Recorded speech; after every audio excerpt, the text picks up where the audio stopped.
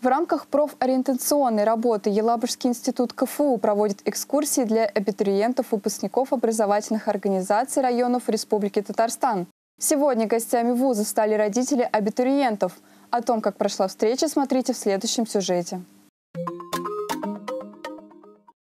Знакомство с Елабужским институтом началось с презентации директора института Елены Мирзон, которая познакомила родителей с историей и структурой университета, рассказала о преимуществах обучения в ВУЗе, направлениях подготовки, ключевых изменениях, связанных с приемом в 2021 году, а также о мероприятиях и проектах, реализуемых в институте.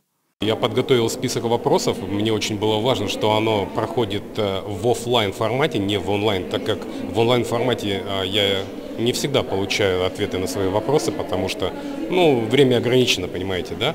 А здесь я сейчас получил полностью все, что хотел узнать, да, по правилу приема в 2021 году. У нас э, не исключаем разные варианты, в том числе и Елабужский институт, э, то есть э, Приволжский федеральный университет, да, но пока еще не определились. Далее родители посетили музей книги, научный читальный зал и студию цифрового образования. Центр китайской культуры тоже стал частью экскурсионного маршрута. По пути исследования гости узнали об интересных исторических фактах, связанных с институтом.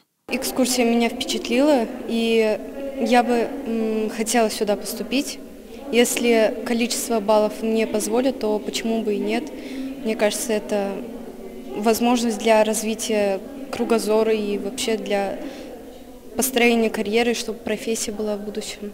Экскурсия завершилась посещением Дома научной коллаборации имени Камиля Валеева, где реализуется более 10 программ дополнительного образования для школьников и учителей. Диана Желенкова, Айдар Нурмиев, Univer News. Thank.